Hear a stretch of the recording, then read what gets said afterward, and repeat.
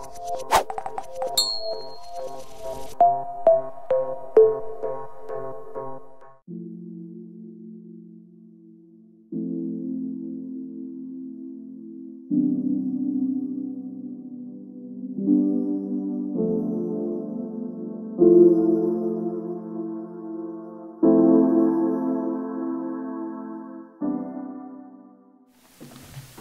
Ja, liebe Frau Briesemann, sehr geehrte Frau, Frau Vizepräsidentin Holler, äh, lieber Herr Muso, Frau Sando, auch im Namen der Deutschen Physikalischen Gesellschaft darf ich Sie ganz, ganz herzlich begrüßen zu dieser Veranstaltung heute an der berühmten Universität Göttingen.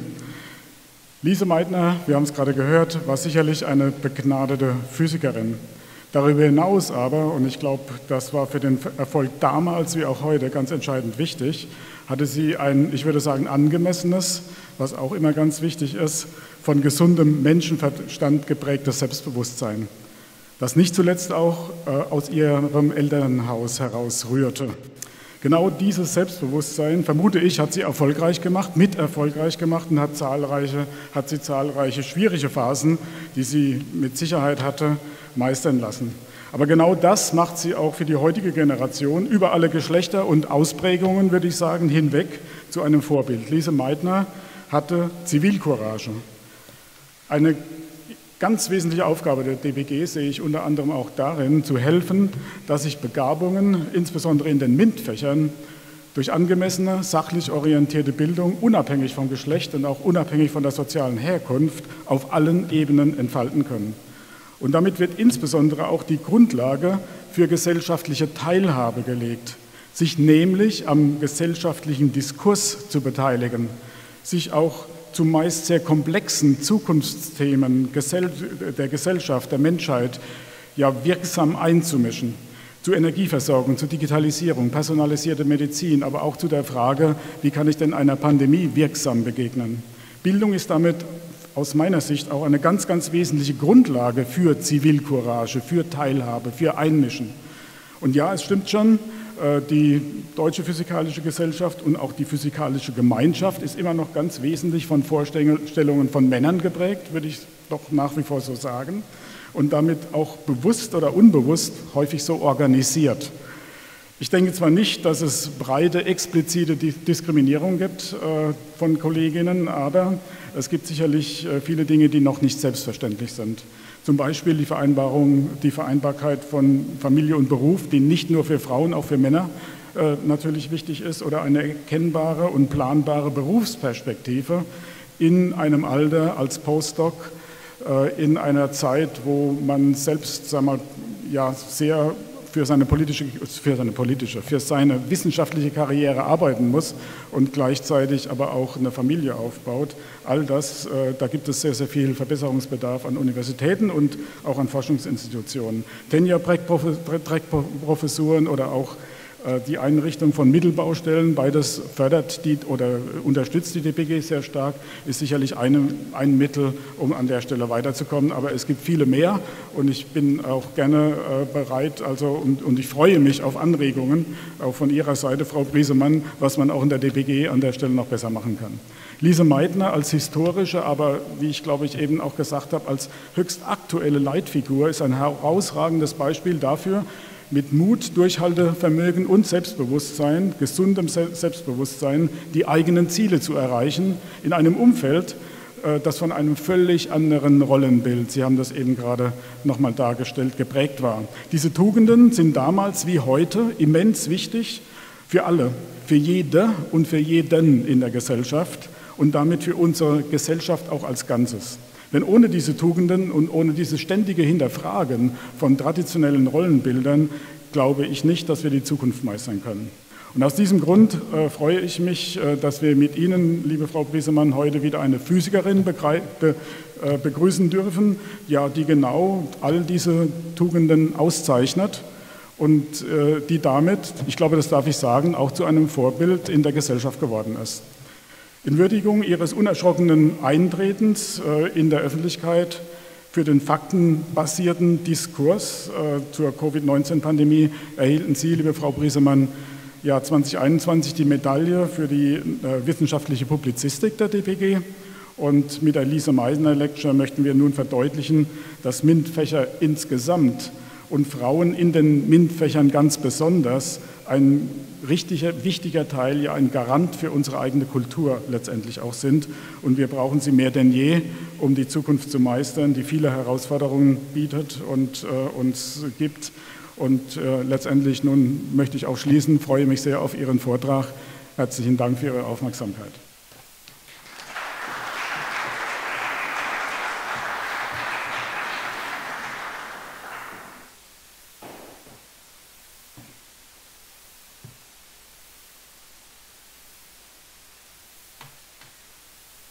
So, mein Name ist äh, Maurizio Musso. Ich bin Professor für Experimentalphysik an der Universität Salzburg und derzeit Präsident der österreichischen Physikalischen Gesellschaft. Ich möchte alle Anwesenden und alle Zuschauer von Seite der ÖPG, von der österreichischen Physikalischen Gesellschaft, herzlichst begrüßen und von Seite des äh, Vizepräsidenten der ÖPG äh, Christian Teichert, der im nächsten Jahr dann Präsident für die nächsten zwei Jahre werden wird und von meiner Seite auch die besten Wünschen an äh, Kollege Joachim Ulrich für die jetzige und zukünftige Präsidentschaft. Und auch noch soll ich ausrichten herzliche Grüße von Monika Ritsch-Marte, Professorin an der Med-Uni Innsbruck. Sie ist hauptverantwortlich innerhalb der österreichischen Physikalischen Gesellschaft für die Gestaltung der Lise Meitner Lectures. Was ich im Zusammenhang mit, äh, mit dieser äh, Veranstaltung erwähnen möchte, ist etwas, was Johanna Stachel, DPG-Präsidentin 2014, 2012 und 2014 äh, gesagt bzw. geschrieben hat. Erfolgreiche Physikerinnen als Vorbilder sind von unschätzbarer Bedeutung, denn der Weg in die Physik und auch das Bestehen in der Wissenschaft sind nicht immer einfach und der Weg zur Verwirklichung von Chancengleichheit in Deutschland und in Österreich ist noch weit. Wenn junge Frauen sich die Physik als ihr Fach ausgewählt haben, dann brauchen sie deshalb auch Vorbilder, die ihnen zeigen können, dass sich Engagement lohnt, selbst wenn es einmal Widerstände gibt. Und ich freue mich, dass wir genau solche Vorbilder wie Viola Prisemann haben. Ein letzter Aspekt im Zusammenhang mit der österreichischen Physikalischen Gesellschaft und mit der erfreulichen Entwicklung hinsichtlich äh, Physikerinnen, ja, die Physika, österreichische Physikalische Gesellschaft ist relativ klein, ja, hat 1041 Mitglieder, davon sind 17 Prozent Frauen. Voll beschäftigt sind 483 Personen, davon 14 Prozent Frauen. Teilbeschäftigt oder pensioniert sind 263 Personen, davon 13 Prozent Frauen. Das heißt, dieser Aspekt ist gleich geblieben. Aber die studentischen Mitglieder sind 289, davon 26 Prozent Frauen. Also man sieht, dass hier eine Entwicklung, eine ganz erfreuliche Entwicklung stattfindet, die ich hoffe in Zukunft mit Hilfe von diesen Veranstaltungen und mit Hilfe von weiteren Aktivitäten hinsichtlich Chancengleichheit, Code of Conduct weiter gefördert und äh, verstärkt werden wird bin schon sehr gespannt auf deinen Vortrag und äh, noch einmal herzliche Grüße von Seite der ÖPG.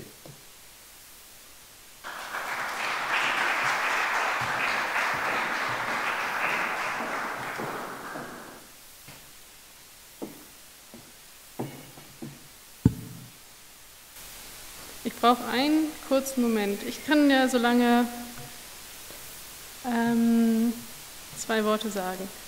Und zwar ist es sehr beeindruckend zu hören, was Lise Meitner, wie soll ich sagen, an Widerständen überwinden musste, um überhaupt so weit zu kommen. Wenn ich dann an mein eigenes Leben zurückdenke, frage ich mich, wie kommt es überhaupt, dass ich hierher gekommen bin?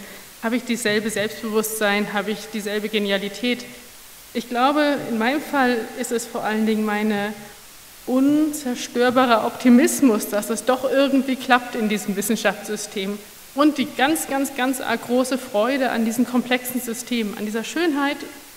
Und das Dritte ist, dass wir tagtäglich in der Wissenschaft das machen können, was wir wollen. Und genau deswegen stehe ich, glaube ich, heute hier. Das ist mein Optimismus. Das war der Optimismus, dass wir in der Covid-Pandemie ein klein bisschen was bewegen können. Der Optimismus, dass wir herausfinden können, wie komplexe Systeme funktionieren. Und in meinem spezifischen Fall das Thema, was mich am meisten interessiert, die Frage, wie kann es überhaupt sein, dass man denken kann? Ist das die Seele? Ich bin noch mit dieser Vorstellung aufgewachsen, dass es definitiv die Seele sein muss. Ähm, inzwischen ist meine ganz klare Arbeitsprothese, dass die Zusammenarbeit von Milliarden von Neuronen und das ganz fein abgestimmte Zusammenspiel dazu führt, dass wir uns hier verstehen können.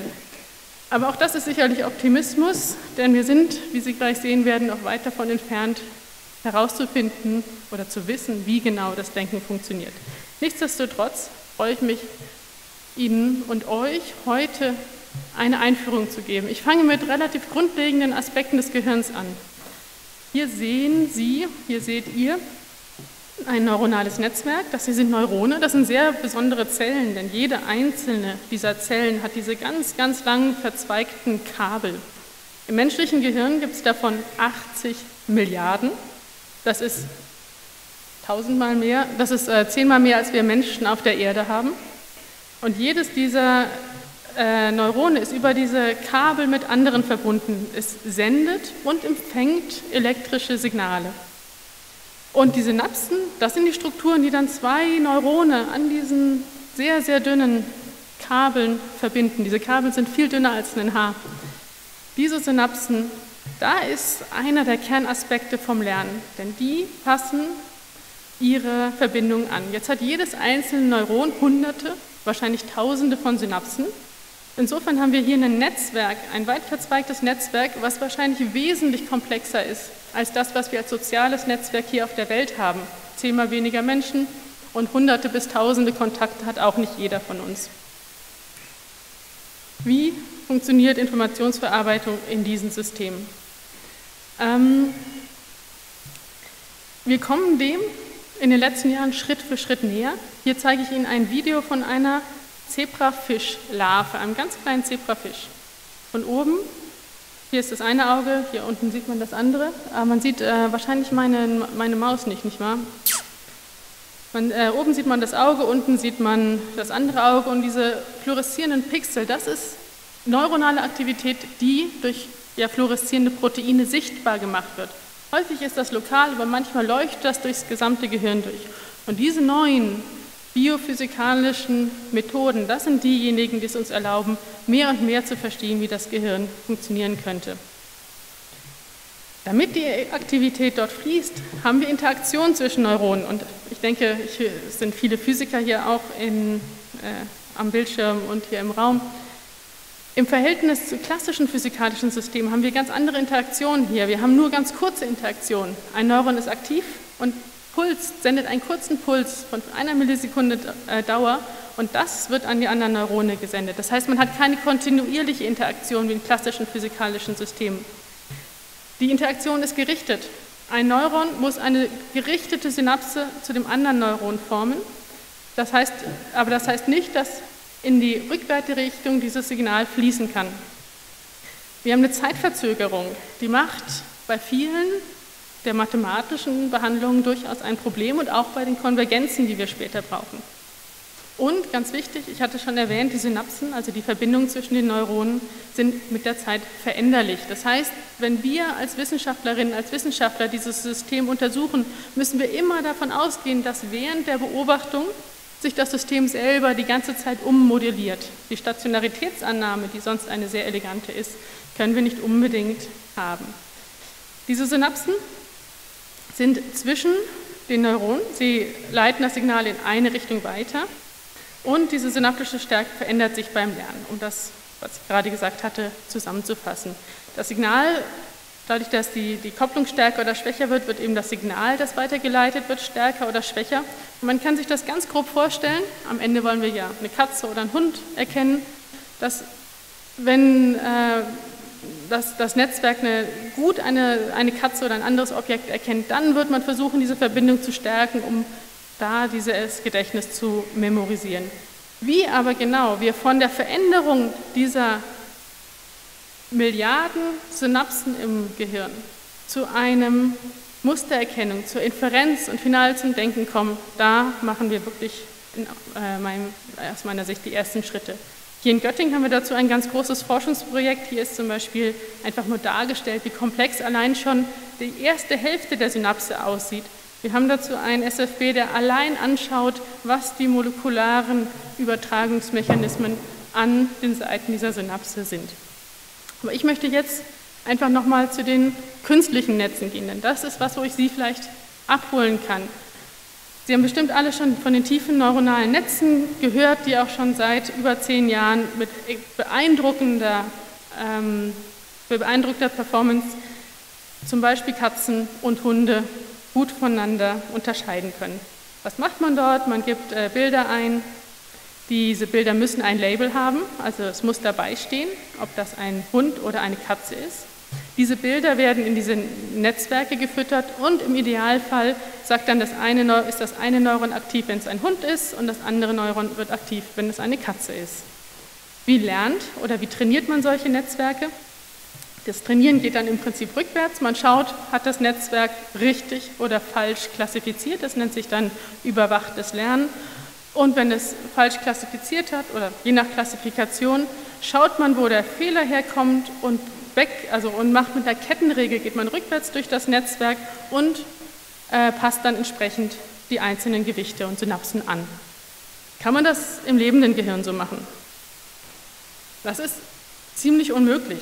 Wir bräuchten ja ein eigenes Netzwerk, was uns diese Regeln ausrechnet. Es gibt Ideen, wie man das macht, aber ich möchte eine spezifische hier herausgreifen, die aus meiner Sicht extrem elegant ist. Es geht hier um das sogenannte nicht überwachte Lernen. In dem Fall gebe ich diese Hunde- und Katzenbilder in das Netzwerk und zwar ganz ohne Label. Und ich möchte, dass das Netzwerk von alleine sieht, dass da verschiedene Sorten von, Klasse, von Klassen sind. Wie funktioniert das? In den, Neuron, in den Neuronen, in lebenden Neuron, äh, neuronalen Netzen passen die ihre Verbindung stärken lokal und unüberwacht an Lokal heißt, wir brauchen nur die Information, die an den beiden verbundenen Neuronen vorhanden ist und sonst nichts. Das ist optimal, weil es komplett hochskaliert. Wir brauchen keinen Lehrer, keine Lehrerin, die jeder einzelnen Synapse sagt, was sie tun soll. Alles, was die Synapse schaut, ist, was ist die Aktivität der beiden Neurone, die sie verbindet. Und dann, und das ist vielleicht ein bisschen wie Magie, gibt es wirklich in diesen neuronalen Netzen Neurone, die dann aktiv sind, wenn man ein Katzenbild reingibt oder wenn man ein Hundebild reingibt. Natürlich können die nicht Katze oder Hund sein, man muss dann selber von Hand noch durchgehen und überlegen, okay, das hier ist ein Neuron, was besonders für Katzen ähm, oder für Hunde eben aktiv ist. Das heißt, die Semantik muss man noch dazugeben. Aber diese Magie, diese Emergenz, dass äh, diese Netze, diese wiederholenden, diese Struktur, Pattern, diese Strukturen in der echten Welt lernen, da gibt es Arbeiten hier schon aus den 90er Jahren, die relativ intuitiv sich gedacht haben, wie man das im Prinzip machen sollte. Wie macht man das im Prinzip? Ich habe leider nicht die Möglichkeit, da reinzugehen. Es ist äh, relativ eine mathematische Herleitung. Aber was brauchen wir? Wir brauchen immer dann, wenn ein Neuron sozusagen anfängt, ein Muster zu finden und das wieder und wieder zu finden, dann müssen wir diese Verbindungen zu diesen Mustern verstärken. Der zweite, die zweite Zutat ist, wir müssen schauen, dass wir die Repräsentationen sinnvoll über alle Neurone verteilen. Wir wollen ja nicht, dass am Ende nur Katzenneurone rauskommen und keine Hundeneurone. Ich meine, die Welt insgesamt ist um einiges komplexer. Ähm, wir müssen das irgendwie effizient verteilen. Dritte, die dritte Herausforderung ist, dass diese Weiterleitung immer Zeit braucht. Das ist nicht viel, das sind ein paar Millisekunden. Ein Neuron ist aktiv, und dann dauert es ein paar Millisekunden, bis das nächste aktiv ist, aber dadurch gehen Assoziationen verloren. Es ist ja nicht gleichzeitig. Auch diese Herausforderung müssen, der müssen wir uns stellen. Beldiak hat es in den 90ern sehr beeindruckend vorangebracht, aber auf eine intuitive Art und Weise. Was wir hier in den letzten Jahren äh, gemacht haben, insbesondere Fabian Mikulasch und Lukas Rudelt und Benjamin Kramer, äh, PhD-Studenten in meiner Gruppe und hier auch in Heidelberg, mit denen wir zusammenarbeiten, die, mit denen haben wir überlegt, wie können wir das analytisch herleiten? Wie können wir aus Prinzipien herleiten, wie dann lokal die einzelnen Anpassungsregeln sein sollten, damit dann emergent diese Mustererkennung äh, gelingt, ohne dass wir einen Lehrer, eine Lehrerin, also ohne dass wir einen Supervisor brauchen. Ähm, jetzt habe ich natürlich viel von Machine Learning erzählt, von, äh, von Biologie, neuronalen Netzen. Warum Physik? Was bringt uns eigentlich die Physik an dieser Stelle, um die Funktionsweise von neuronalen Netzen zu erforschen? Das, was wir nutzen, sind Methoden, die in, den, in der Physik in den letzten Jahrzehnten wirklich beeindruckend entwickelt worden sind. Wir nutzen die statistische Physik und die Informationstheorie, um Aktivitätsausbreitung auf der einen Seite, um Informationsausbreitung zu quantifizieren. Musterbildung ist ein klassisches Thema. Emergente, emergente Musterbildung ist ein klassisches Thema der Physik. Da geht es nicht um die Frage, welche Moleküle wo mit welchen Molekülen ganz genau interagieren, sondern was sind die Prinzipien der Interaktion von Abstoßung und Anziehung, die wir brauchen, damit bestimmte Sorten von Mustern überhaupt entstehen können. Das heißt, die Physik ist eigentlich das ideale Studium, um dann sich emergente Phänomene wie die Musterbildung, wie Schwarmverhalten oder eben auch Informationsverarbeitung in neuronalen Netzen anzuschauen. Im Folgenden möchte ich jetzt drei Arbeiten aus unserer Arbeitsgruppe vorstellen. Das erste geht um Selbstorganisation in neuronalen Netzen und das Konzept der Kritikalität. Dann werde ich in eine, sage ich mal, angewandte Mathematikrichtung gehen, und zwar das Problem, oft haben wir ein großes System, sehen nur einen winzigen Teil davon, können wir trotzdem Rückschlüsse über das gesamte System ziehen. Und das dritte ist dann ein kleiner Ausblick zumindest auf die Covid-Pandemie. Das ist natürlich nicht äh, völlig zufällig gewesen, dass ich in dem Bereich arbeiten konnte. Fangen wir hier mit der Kritikalität an, kritische Systeme. Ähm, das ist ein wichtiges Thema in den Neurowissenschaften, weil man denkt, dass Netze, die im kritischen Zustand sind, besonders gut für Informationsverarbeitung sind. Was ist ein kritischer Zustand? Ich habe diese Illustration gefunden, die mir so gut gefällt. Die soll so den Übergang zwischen Ordnung und Chaos darstellen. Intuitiv, glaube ich, können viele zustimmen, dass wir beides brauchen. Wir brauchen in unserem Gehirn Ordnung, damit wir das, was wir kennen, strukturieren. Wir brauchen ein bisschen Chaos, damit wir neue Ideen, Kreativität und neue Erkenntnisse entwickeln können. In der Physik ist dieser Übergang zwischen Ordnung und Chaos oder zwischen Stabilität und Instabilität oder andere bekannt, weil er sogenannte kritische Phänomene hervorbringt. Das ist im klassischen Gleichgewichts-Easing-Modell ähm, studiert worden und wirklich sehr gut verstanden. Hier nehmen wir zum Beispiel die Sensitivität und wir ändern in diesem Modell die Kopplungsstärke. In dem Fall ist es, nehmen wir mal in dem neuronalen Netz die Kopplungsstärke an. Wir ändern also die Kopplungsstärke und dann gibt es da diesen Bereich, wo diese, die Sensitivität des Netzwerks gegen unendlich geht. Sie divergiert. Und nicht nur die Sensitivität, sondern auch andere Eigenschaften divergieren. Nehmen wir also das klassische Easing-Modell, ich äh, lasse jetzt einfach an der Seite, was es ist. Das äh, dort divergiert und geht zu unendlich äh, die, die Suszeptibilität. Und wenn man das auf neuronale Netze überträgt, dann ist das im Prinzip die Sensitivität zu Input. Und klar, ein neuronales Netz soll Sensitivität haben, da sind wir uns, glaube ich, alle einig. Äh, Entschuldigung, ich habe das alles noch. Äh, die spezifische Wärme, die ähm, repräsentiert den Kodierungsraum. Die Korrelationslänge ähm, entspricht der Kommunikation im Raum und der Kommunikation in der Zeit, wenn wir lange Korrelationslängen haben. Es ist also intuitiv und klar und bekannt aus der Theorie, dass äh, die Kritikalität Aspekte der Informationsverarbeitung maximieren kann. Und es gibt eine ganze Reihe Modelle, die dann zeigt, dass die Dynamic Range, also die, den Bereich, den man encodieren kann, der Informationstransfer, dass das alles maximiert ist. Die Korrelationslänge, die aktive Informationsverarbeitung. Es gibt wirklich einige Bücher, die genau darüber geschrieben ist, Kritikalität in neuronalen Systemen. Man könnte sich also denken, dass das Thema bearbeitet ist. Aber ich würde jetzt nicht darüber sprechen, wenn da nicht offene Fragen wären. Und ich möchte das in, folgenden, in der folgenden Skizze zusammenfassen. Der X-Achse hier ist die Kopplungsstärke von schwach nach stark. Wir haben hier in der Mitte einen kritischen Wert, die Kritikalität, wo eben die Sensitivität oder auch eigene andere Eigenschaften gegen unendlich gehen. Und es wird eben argumentiert, dass genau hier wir eine besonders gute Verstärkung des Inputs haben, dass wir einen langen Nachhall des Inputs haben und das für die Informationsverarbeitung nutzen können. Jetzt gibt es aber eine zweite Richtung in den theoretischen Neurowissenschaften und in der Physik, die eigentlich sagt, wir sollten viel eher in einem Bereich sein, wo die neuronale Aktivität unordentlich aussieht, also sehr wenig korreliert ist. In diesem Bereich haben wir maximale Entropie und minimale Redundanz. Wenn man sich hier zum Beispiel dieses Pattern anschaut, mit dem wir das visualisiert haben, das hat skalenfreie Eigenschaften, das hat schöne Ästhetik, aber das könnte man wunderbar komprimieren, wenn man das jetzt mal in so einen ZIP-Code stecken würde. Jetzt haben wir zwei Felder, die komplett kontra, konträre Theorien haben, an welchem Arbeitspunkt das Gehirn eigentlich sein sollte. Hier mehr dort, wo wir alle Redundanzen ähm, rausgenommen haben oder dicht am kritischen Punkt. Beide haben experimentelle Evidenzen auf ihren Seiten.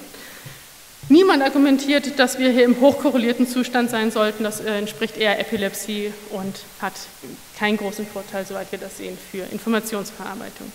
Wie gehen wir also an so eine Frage ran? Das erste ist, man muss realisieren, dass es dort einen klaren Widerspruch gibt. Und das zweite ist, sobald es solche fundamentalen Widersprüche gibt, kann man sich hinsetzen und einen Beitrag machen, wenn man es schafft, es zu lösen. Uns ist es gelungen, und zwar auf verschiedene Art und Weisen. Erstens muss man einen mathematische oder äh, mathematischen Rahmen finden, in dem man beides gleichzeitig behandeln kann. Zweitens müssen wir mit diesen ganzen Ungleichgewichtsproblematiken umgehen. Das äh, ist äh, der Hinweis hier für die Physiker und Physikerinnen. Als drittes ist noch ein besonderes Problem, was ich kurz angesprochen hatte. Nehmen wir zum Beispiel das menschliche Gehirn, das hat 80 Milliarden Neurone. Ein Mausegehirn hat noch 80 Millionen, aber in Experimenten können wir wirklich nur einen winzigen Bruchteil all dieser Neurone messen. Und wir konnten zeigen, dass diese Missverständnisse, die in den letzten 20 Jahren in diesem, in diesem Feld sich entwickelt hatten, dass diese Widersprüche darauf zurückzuführen sind, dass die Experimentalisten oder und Theoretiker auf verschiedene Aspekte dieses Teilsystems geguckt hatten. Die Experimente können also nur einen winzigen Bruchteil der Neurone messen. Und wir haben neue Schätzverfahren entwickeln können, um den systematischen Bias auszuschließen, den man hat, wenn man von einem ganz kleinen Teil des Systems Rückschlüsse auf das Gesamtsystem macht. In diesem Fall möchte man wissen, wie die Aktivität sich ausbreitet, was die Suszeptibilität ist. Und die unterschätzt man, wenn man nur einen kleinen Teil des Systems naiv anschaut.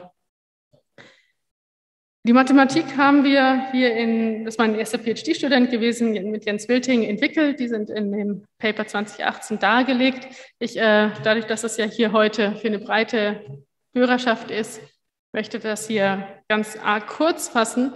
Ähm, wir kommen aber im nächsten Kapitel nochmal darauf zurück. Nehmen wir an, wir haben das Problem gelöst. Wir haben jetzt ein neues Schätzverfahren. Dieses neue Schätzverfahren können wir auf neuronale Aktivität von ganz vielen verschiedenen Spezies anwenden, inklusive neuronale Aktivität aus dem, Menschen. Man misst neuronale Aktivität im Menschen auch mit Elektroden. Man muss Elektroden in das Hirn einführen. Und zwar bei epileptischen Patienten, die in der Klinik sind und dann aus medizinischen Gründen solche Elektroden implantiert haben. Das heißt, bei all diesen äh, Spezies haben wir gefunden, dass dieser Kontrollparameter, der, der R-Wert, der nicht bei 1 ist, nicht ganz am kritischen Punkt, er ist auch nicht sehr gering, er ist bei etwa 0,98. Jetzt fragt man sich 0,98. Macht das jetzt wirklich einen relevanten Unterschied zur 1? Ja, es macht einen relevanten Unterschied, denn kleine Änderungen in diesem Kontrollparameter Kleine Änderungen, wie man hier sieht, machen einen relativ großen Unterschied in der Sensitivität, wie Sie auf der Y-Achse sehen.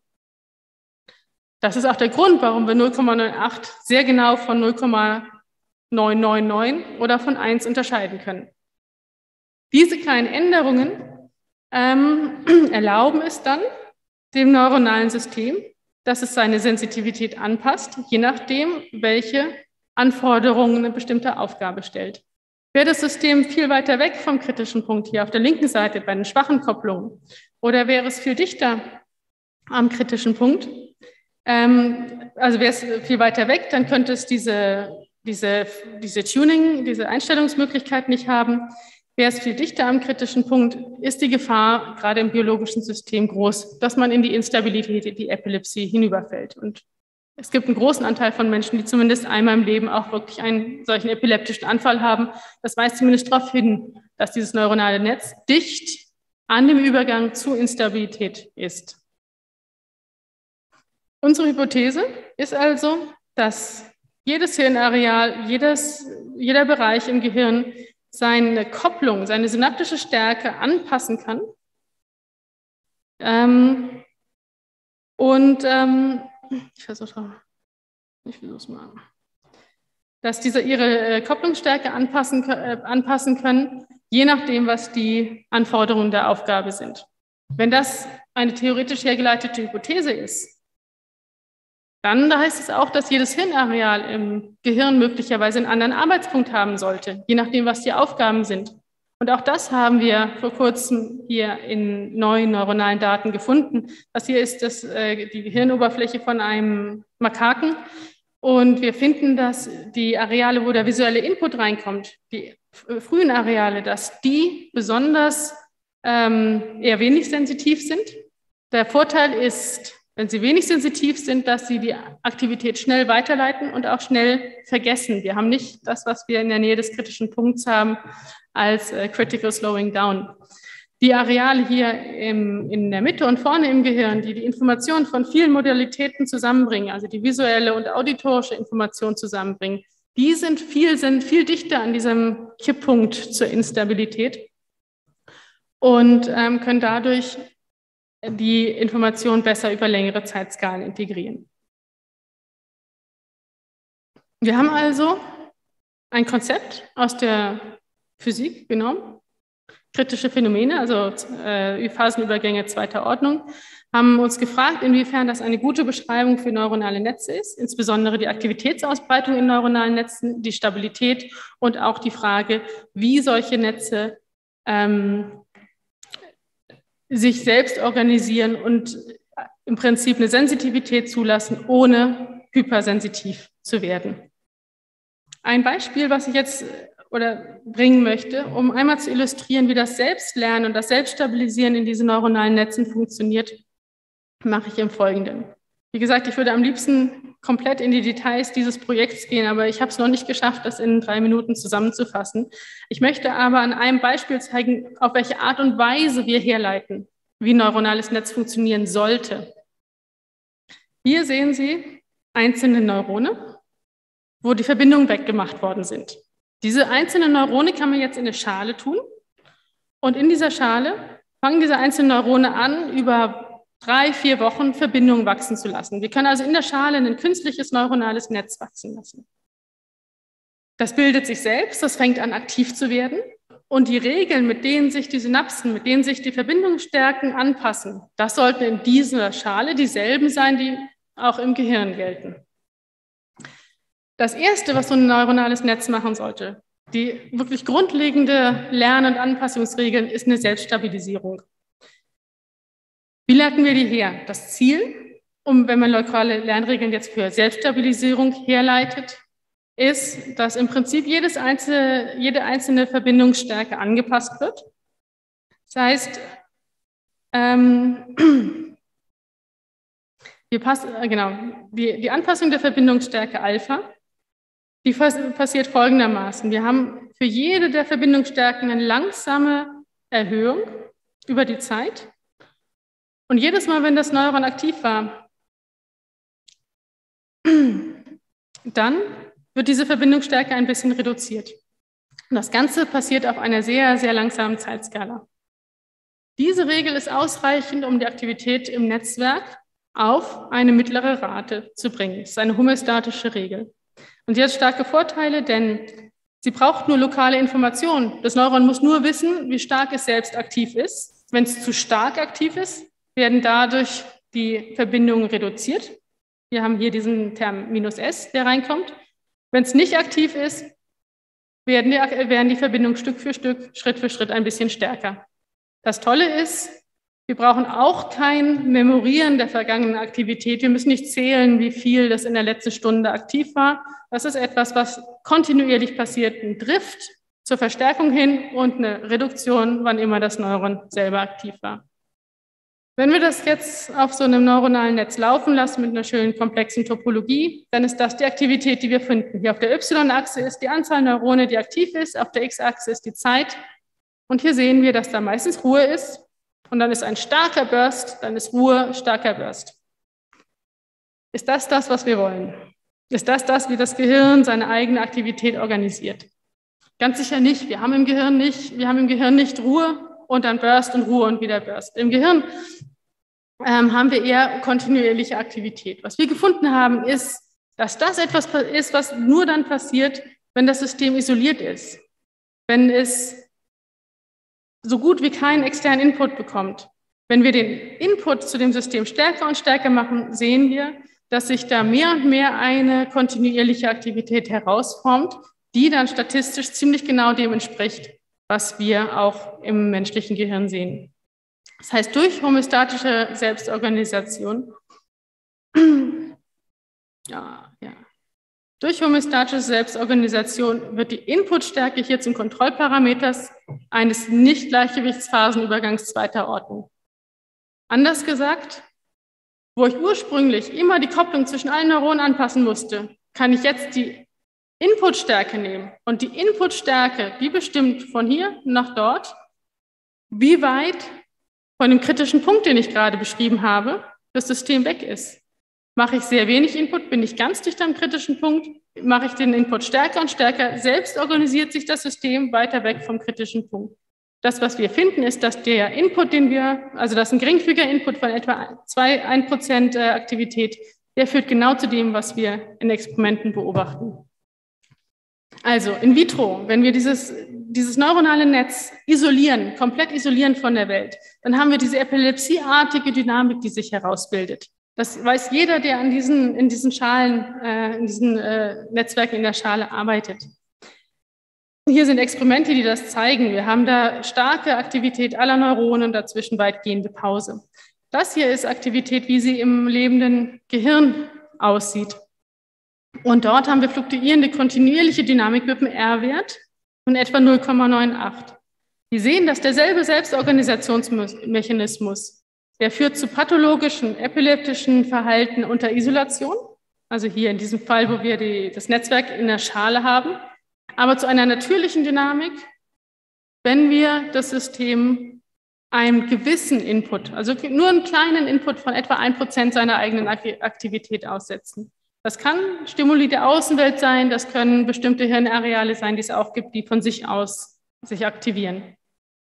Das hat ganz klare Implikationen für die klinische Forschung, denn hier diese In-vitro-Experimente, das ist wirklich eins der Arbeitspferde, die man in der Pharmakologie nimmt. Man nimmt diese neuronalen Netze, lässt sie wachsen und schaut, wie zum Beispiel verschiedene äh, Pharmaka sich darauf auswirken. Aber wenn man das natürlich untersucht auf einem System, was die ganze Zeit leise ist, einen Burst hat und wieder leise ist, dann haben wir da eventuell nicht immer ganz sensitive Resultate. Unser Ziel ist es also, in Kollaboration mit Experimentalisten, und da sind wirklich drei Gruppen, die sich da an, an dieses äh, Problem herangewagt haben, diese In-vitro-Systeme aus ihrer Isolation zu retten, damit wir dann auch in der Schale eine Aktivität haben, die viel mehr dem entspricht, was wir auch im echten Gehirn, ähm, was wir auch im echten Gehirn sehen. Wir haben also einen Aspekt gesehen zur Selbstorganisation in neuronalen Netzen, zum Lernen. Ich möchte, ich habe, dies, ich habe dieses Beispiel ausgesucht, weil es einfach das Prinzip zeigt. Wir haben das Prinzip, wir haben eine Zielfunktion, wir wollen eine bestimmte Aktivitätslevel im System. Wir überlegen, wie sich dann die Einzelverbindungen anpassen sollten und finden, dass dann zu den Experimenten passende Dynamik rauskommt. Genau dasselbe können wir machen, indem wir Informationstheorie nehmen, nicht Aktivität. Wir nehmen Informationstheorie sagen, wie der Informationsfluss in dem neuronalen Netz eigentlich sein sollte und passen dann die Lernregeln abhängig von den informationstheoretischen Zielfunktionen ab. Aber das ist einfach eine relativ, das sind relativ viele Formeln und am Ende kann ich nur sagen, es funktioniert halbwegs oder es, wie gut es funktioniert. Deswegen glaube ich, ist das hier einfach eine, Möglichkeit zu zeigen, wie die Herangehensweise ist. Und in Gedanken oder für alle, die interessiert sind, kann ich sehr empfehlen, diese äh, Studien von äh, Mikulasch et al. anzuschauen, wo wir das für Informationsverarbeitung in komplexeren Netzwerken machen. Im zweiten Teil möchte ich zur Subsampling-Theorie gehen. Subsampling ist was, was mich auch persönlich sehr interessiert. Das ist ja fast eine philosophische Frage. Ich habe ein riesiges System, ich sehe nur einen ganz kleinen Teil davon. Was kann ich überhaupt wissen? Ich hatte dieses Bild hier schon gezeigt von den etwa 80 Milliarden Neuronen im menschlichen Gehirn. Und in Experimenten können wir nur einen winzigen Bruchteil davon messen. Wir haben in vielen verschiedenen Problemen diese, sage ich, eher angewandte Mathematikfragestellung beantwortet. Ein Beispiel möchte ich nennen, weil das auch mit der Covid-Forschung zu tun hat. Und zwar haben wir uns als wirklich grundlegenden Prozess die Verzweigungs- oder Ausbreitungsprozesse angeschaut. Ausbreitungsprozess kann man hier darstellen als, sage ich mal, eine Person, die ist infiziert, die infiziert vielleicht ein paar andere Leute in den nächsten Schritt und so kommt dann so eine Infektionskaskade zustande. Oder im Gehirn ein Neuron ist aktiv, das ähm, aktiviert dann andere. Dieser Prozess ist schon 1875 ähm, studiert worden, an einem Beispiel, was auch mit Gender wahrscheinlich zu tun hat. Golden und Watson haben sich gefragt, warum sterben manche Familiennamen aus? Die haben also diesen Prozess definiert als hier ist ein, eine Person mit einem Familienname und diese Person hat eine zufällige Anzahl von Söhnen. Kann ich dann berechnen, ob der Familienname ausstirbt oder nicht oder mit welcher Wahrscheinlichkeit er ausstirbt? Und hier haben wir genau das, was wir vorher in, dem, äh, in der Skizze auch schon gesehen haben. Wir haben, äh, wenn der R-Wert unter 1 ist, also wenn eine Person im Mittel weniger als eine Person ansteckt, dann haben wir einen exponentiellen Zerfall. Der Familienname würde auf jeden Fall garantiert aussterben. Im Falle von R größer 1 kann der Familienname immer noch aussterben. Aber im Mittel hat man ein exponentielles Wachstum und der kritische Zustand trennt die beiden voneinander. Das einzig Wichtige wirklich, das bestimmt, ob oder ob nicht so eine Kaskade ausstirbt, ist der R-Wert, den wir jetzt seit Covid alle gut kennen. Ich überspringe mal die mathematische Definition und sage, das, was wir jetzt ja wissen wollen, ist, wir wollen die neuronale Aktivität messen, wir wollen die Fallzahlen messen ähm, und aus den gemessenen Fallzahlen wollen wir wissen, was denn genau der R-Wert ist. Ich habe ja behauptet, der ist 0,98 fürs Gehirn. Ähm, wenn man die gesamte Aktivität hätte, also wenn man alle Aktivität des Systems hätte, dann ist es relativ einfach. Man kann die Aktivität in einem Zeitschritt und am nächsten Zeitschritt gegeneinander auftragen und die lineare Regression gibt einem eine Schätze. Das ist alt und gut bekannt. Wenn wir aber nur einen kleinen Teil des Systems sehen, dann ist es leider wesentlich weniger einfach.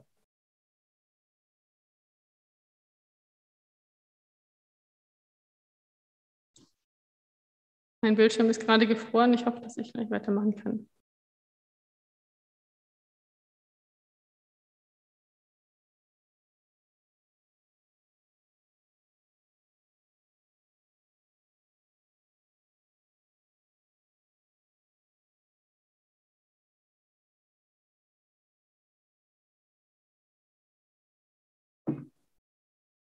Für die finale Version können wir das rausschneiden.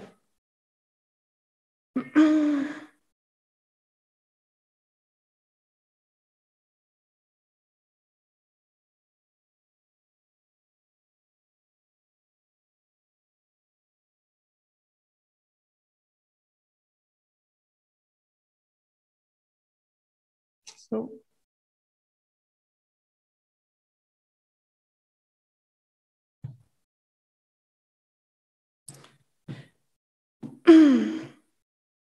Wenn wir nur einen kleinen Teil der Aktivität beobachten, wie in diesem Sketch, dann ist die Schätzen wesentlich schwieriger. Ich möchte das hier auch an einem weiteren Beispiel zeigen. Auf der X-Achse ist die Zeit, auf der Y-Achse sind viele Kanäle.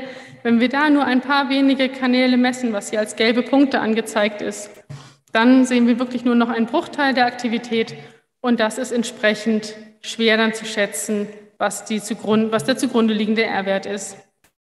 Die Art und Weise, wie, wie wir das dann schätzen, hat im Kern, äh, hat im Kern die Eigenschaft, dass wir diesen Zusammenhang von dem Zeitpunkt t und t, Punkt ein, äh, t plus 1 verallgemeinern auf beliebige Zeitpunkte. Wir konnten herleiten, dass die die Falschschätzung, der Bias, den man hat, dass der unabhängig ist davon, wie viel man in die Zukunft oder die Vergangenheit guckt. Wir können nicht abschätzen, wie groß er ist. Aber wenn er für all diese Schritte gleichartig ist, dann brauchen wir eigentlich nur zwei anschauen, um ihn rauskürzen zu können. Und das ist die Art und Weise, wie wir einen äh, Schätzer hatten, finden können. Hier ist auch der Kernpunkt der. Oh Gott. Jetzt ist, Entschuldigung, ähm, ich habe wirklich ein Problem mit dem äh, Pointer und dem Zoom manchmal.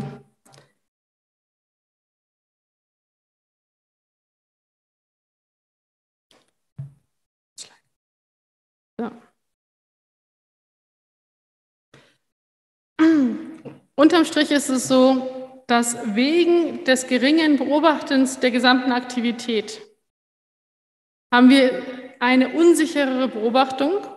Das reduziert die Korrelationsstärke in meiner Beobachtung. Und weil die Korrelationsstärke reduziert ist, ist dann auch die Schätzung der Regression unterschätzt. Und daher kommt der Bias, der auch zu den Missverständnissen in den Neurowissenschaften geführt hat.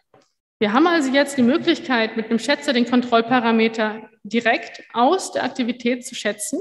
Wir brauchen nur die Aktivität, die wir beobachtet haben.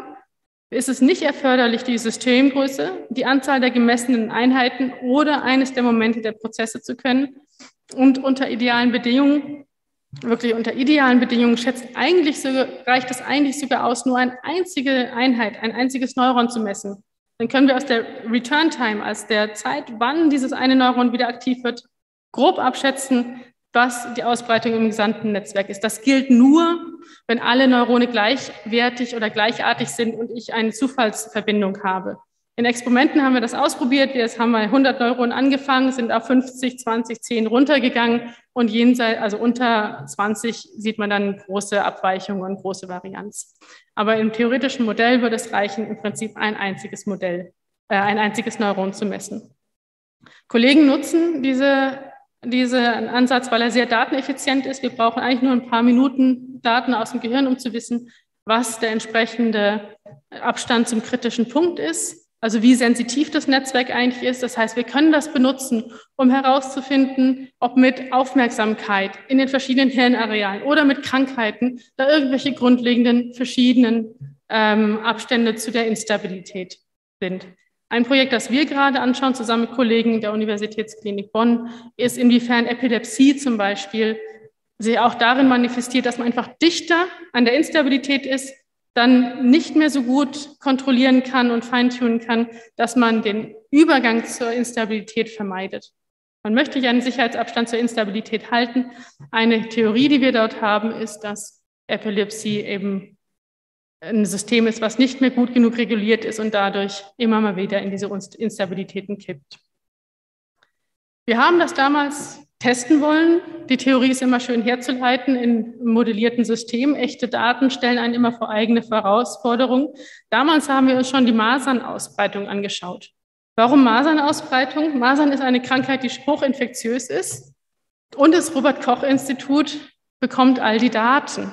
Das heißt, wir konnten, genauso wie man jetzt Covid-Daten runterladen kann, damals auch schon die Masern-Daten für Deutschland und im Prinzip für sehr viele Länder aus der Welt vom Robert-Koch-Institut oder eben der WHO bekommen. Das ist unser Resultat. Wir gehen davon aus, dass die Masern vollständig gesampelt sind. Das heißt, hier der klassische Schätzer in Blau und unser Schätzer in Grün bringen genau denselben Wert für die effektive Reproduktionszahl. Die ist unter 1, weil viele Menschen geimpft sind. Wir haben also lokale Ausbrüche, die auch wieder gestoppt werden. Dann haben wir einfach angenommen, dass wir nur 50 Prozent, 20 Prozent oder nur ein Prozent all dieser Fälle beobachtet hätten. Also eine Dunkelziffer hier die ein Faktor 100 wäre, und dann sehen wir, dass unser Estimator zwar, unser Schätzer zwar eine größere Varianz hat, aber immerhin immer noch den korrekten R-Wert schätzt, während die ähm, klassischen Schätzer das unterschätzen. Jetzt können, haben wir natürlich damit die Epidemiologie nicht revolutioniert, denn wenn man den R-Wert in der Epidemiologie schätzt, dann geht man in die Haushalte und dann zählt man, wie viel Person hat eine Person angesteckt. Daher kommt auch natürlich ein sehr, sehr wichtiger und zuverlässige Schätzung für den R-Wert. Aber man muss damit in die Haushalte gehen. Wir haben hier eine Möglichkeit, auch dann, wenn wir sehr geringe Beobachtung haben, und das ist gerade im Gehirn ein riesiges Problem, da den R-Wert, die Ausbreitung der Aktivität im Gehirn sehr genau zu schätzen. Ich glaube, so ist ein bisschen klar geworden, wie wir über unsere Erforschung von Ausbreitungsdynamik und Subsampling-Theorie genau die richtigen Methoden hatten, um beim Ausbruch der Covid-19-Pandemie einen Beitrag zu leisten. Ich äh, fasse den ganz kurz zusammen. Wir haben im Bereich der Covid-19-Epidemie zum Beispiel, wir haben zum Beispiel hier die sogenannten SIR-Modelle dort genutzt, die Ihnen wahrscheinlich allen bekannt ist. Man geht davon aus, dass suszeptible Personen, also welche, die noch nicht immun sind, mit einer gewissen Übergangsrate ähm, infiziert werden. Und diese Rate, also wie, wie sehr diese, die Anzahl infizierter Personen wächst, das hängt davon ab, wie viele der suszeptiblen Personen auch infizierte Personen treffen. Das ist ähm, der Term, ah, ich mache jetzt hier nochmal den Pointer auf die, auf die Gefahr hin, dass äh, wir wieder rausfliegen.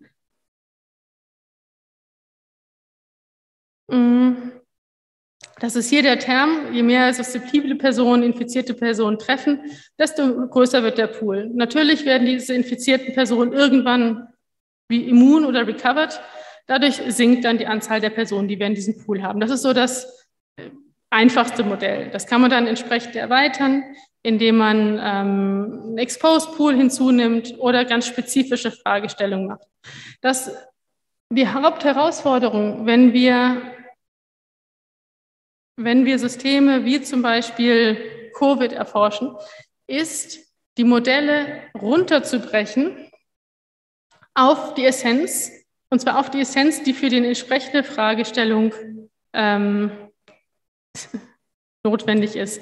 Das Modell sollte natürlich, das kennen wir alle, so simpel sein wie möglich, aber alle notwendigen Parameter drinnen haben. Das heißt im Endeffekt, dass eigentlich fast jede Fragestellung ihr eigenes Modell braucht. Ähm, ein, Thema, das wir uns, ein Thema, das wir uns angeschaut haben, ist, wie und auf welche Art und Weise das Testen und das Kontaktnachverfolgen zur Eindämmung der Pandemie beiträgt. Das Testen und Kontaktnachverfolgen habe ich hier links dargestellt als eine Art Eisberg. Oben in diesem Eisberg, das ist der Teil, den man sieht, das sind die Personen, ich kann das mal von hier versuchen, aber es ist nicht ganz optimal. Ähm, oben sind die Personen, die, ähm, das sind die Personen, die bekannt sind, bei denen bekannt ist, dass sie äh, positiv getestet sind. Die sind im Idealfall isoliert oder in Quarant äh, isoliert äh, und in Quarantäne für die Kontaktpersonen. Das Problem und die Personen, die diese Pandemie wirklich treiben, das sind diejenigen, die nicht wissen, dass sie infiziert sind oder sich nicht in Quarantäne und Isolation begeben. Diese Personen zu entdecken, das ist die Herausforderung und das Ziel beim Testen, Tracen und Isolieren, also beim Testen, Kontakt nachverfolgen und dann die Kontakte isolieren. Wir haben diese Studie gemacht in 2020 ähm, und damals waren auch die Anzahl Tests, die man hatte, noch relativ knapp. Wir hatten noch keine Schnelltests. Unter, dieser, unter diesem Aspekt könnte man jetzt sagen, es gab damals Studien, die gesagt haben, wenn wir ein bisschen testen und dann eine ordentliche Kontaktnachverfolgung machen, dann kriegen wir Covid auch in den Griff. Ein paar Länder haben das ja auch bewiesen. Mit, mit, sehr viel, mit sehr viel Mühe haben die dann lokale Ausbrüche eliminiert. Aber in der Realität in Europa ist das Testen und Kontaktnachverfolgen nicht perfekt. Wir haben prä- und asymptomatische Infektionen und die sind schwer zu erkennen. Wir haben äh, Kontakte bei der Kontaktnachverfolgung, die übersehen werden, weil man sich vielleicht im öffentlichen Verkehrsmitteln, im Supermarkt oder sonst wo angesteckt hat. Es gibt Personen, die natürlich auch gar nicht wollen, dass ihre Kontakte alle bekannt sind. Die Quarantäne ist nicht perfekt. Personen halten sich daran oder eben auch nicht.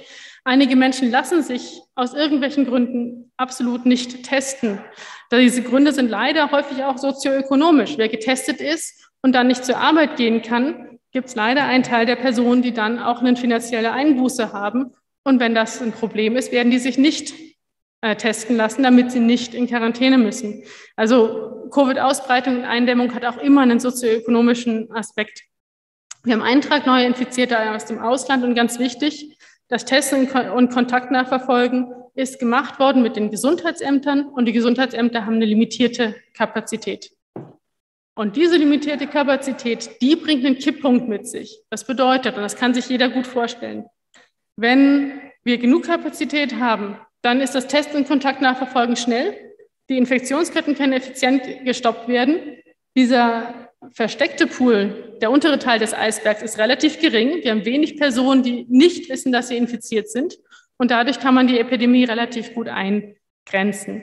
Wir haben das mathematisch ausgearbeitet. Das Modell wird ein bisschen komplizierter, gar nicht mal komplexer. Und ähm, ich fasse hier einfach nur kurz die Ergebnisse zusammen. Das Erste, was klar ist, ich habe es auch schon wiederholt, es sind wirklich die unentdeckten Fälle, die am meisten beitragen zur Ausbreitung von Covid-19. Wenn dann die Testkapazität übertragen wird, die gelbe Linie in dem äh, mittleren äh, Abbildung hier, was passiert dann? Wenn diese Kapazität übertragen wird, dann geht die Anzahl der Fälle auf der Y-Achse nicht mehr approximativ exponentiell hoch, sondern sie geht dann schneller als exponentiell hoch. Das liegt daran, dass je mehr Fälle da sind, desto mehr unerkannte Fälle gibt es, desto stärker, also überexponentiell stärker, breitet sich dann das Virus aus. Das ist so ein bisschen wie bei einem Waldbrand. Das Modell passt hier relativ gut. Ich kann beim Waldbrand mit der Feuerwehr versuchen, die lokalen Brandherde einzudämmen. Wenn die gelöscht sind, habe ich zumindest dort Ruhe. Oder das Feuer ist komplett außer Kontrolle, dann bleibt einem nicht viel anderes übrig, außer die Vulnerablen zu schützen in irgendeiner Form. Also die Dörfer zum Beispiel zu schützen. Ähm, und das Testen und Kontaktnachverfolgen mit all den so gut und wie möglich realistischen Parametern, die wir haben, das erlaubt also die Infektionsketten ganz gezielt zu stoppen. Und im Effekt ist es dann so, dass statt etwa einer Kontaktperson kann man aus Versehen bis zu zwei Personen anstecken, ohne dass wir in das exponentielle Wachstum reinkommen. Aber da sieht man eben auch dran, in dem Moment, wo dann das Testen Kontakt nachverfolgen zusammenbricht, geraten die Ketten außer Kontrolle und dann wird das, das Wachstum extrem schnell wieder.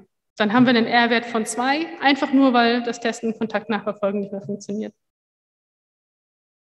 Also der R-Wert hier, wenn ich sage, eine Person kann im Prinzip aus Versehen zwei anstecken, das bezieht sich auf die Personen hier unten in dem Teil, die nicht wissen, ob sie infiziert werden. Der R-Wert von zwei wird dann ausgeglichen dadurch, dass man über die Kontaktnachverfolgung und das Testen infizierte Personen und Kontaktpersonen aus dem Infektionsgeschehen rausbringt. Das geht ja wirklich, der R-Wert in dem unerkannten Teil kann zwei sein.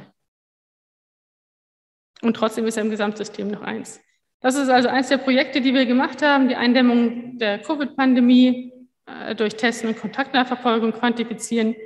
Wir haben angeschaut, wie der Fortschritt des Impfens ähm, die Kontaktbeschränkungen uns erleichtert. Wir haben die Dunkelziffer abgeschätzt und wir haben wirklich im Herbst 2020 sehr früh, als es noch hieß, es gibt keine Winterwelle, haben wir sagen können, man sieht sie, sie ist da. Wir sehen sie in den Fallzahlen, weil wir sie nämlich altersaufgelöst und inklusive der Dunkelziffer uns angeschaut haben. Das war eine unangenehme Zeit, weil nämlich da sehr viel Unsicherheit in der Bevölkerung war, sehr viel Polarisation, sehr viel Wunschdenken, dass ja schon alle, alle immun seien und wir kein Problem mehr über den Winter mit Covid haben.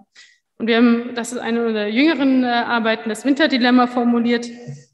Wenn wir dann ähm, im Prinzip fast alle Personen geimpft haben, die Personen ein Impfangebot haben, dann ist das Winterdilemma das folgende zum vergangenen Winter.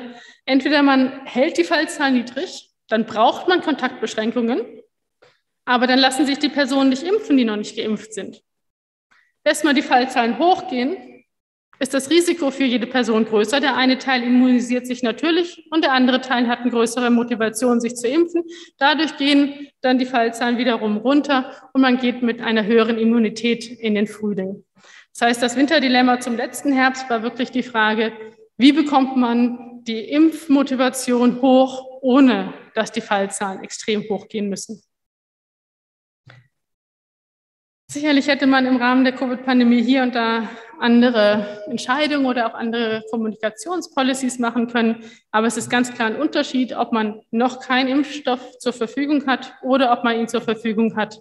Und noch die Frage ist, wie eine Impflücke geschlossen werden kann oder wie eine Immunitätslücke geschlossen werden kann. Aber das ist kein Thema für heute. Wir haben heute uns vor allen Dingen neuronale Netze angeschaut und ich möchte mit einer allerletzten Folie schließen.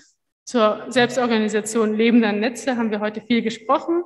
Ich habe gezeigt vor allen Dingen, wie wir von der Ausbreitungsdynamik zum Informationsfluss, zum Lernen Und dann, das ist das, was mich interessiert, zur Infogenese. Wie entsteht Informationsverarbeitung im Gehirn? Wie wir da hinkommen.